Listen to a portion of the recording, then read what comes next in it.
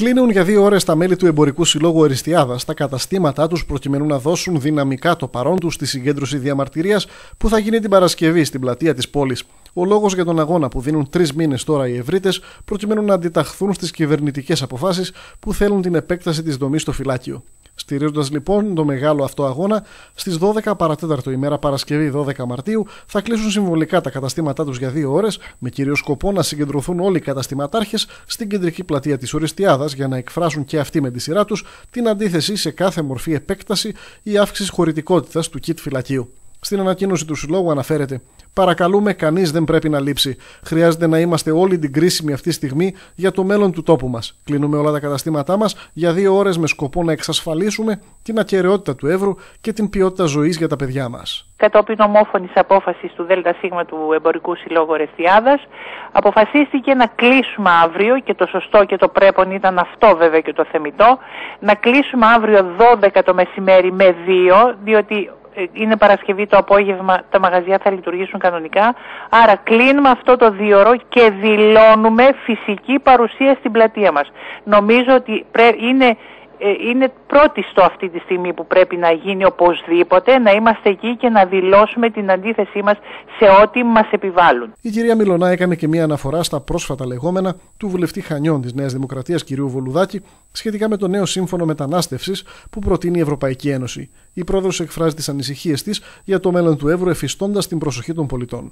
Καταρχήν αυξάνουν το, προ, το, το προκεκά αλλά και υπάρχει και νέα οδηγία από την Ευρώπη όσον αφορά το μεταναστευτικό και ασύλου. Ε, νομίζω ότι το ξέρετε, το έχετε διαβάσει όλοι, υπόθηκε και μέσα στη Βουλή, όπου πια αυτά τα δύο γίνονται πολύ πιο επικίνδυνα από το ΚΙΤ. Ε, πολύ φοβάμαι ότι αυτό που επέρχεται, αν ισχύσει και αν γίνει, θα είναι ένας, ε, μια καταδίκη για την περιοχή, μια καταδίκη γιατί ξέρετε δεν θα γίνει αυτός ο χώρος όπου θα, θα περνούν οι παράτυποι μετανάστες ε, νεκροταφείο ψυχών μόνο και οι δικές μας οι ψυχές θα κατατεθούν σε αυτό το νεκροταφείο. Πολύ το φοβάμαι. Ελπίζω και εύχομαι έστω και την ίστατη στιγμή, έστω και την ίστατη στιγμή γιατί εδώ μιλάμε για την εθνική ασφάλεια.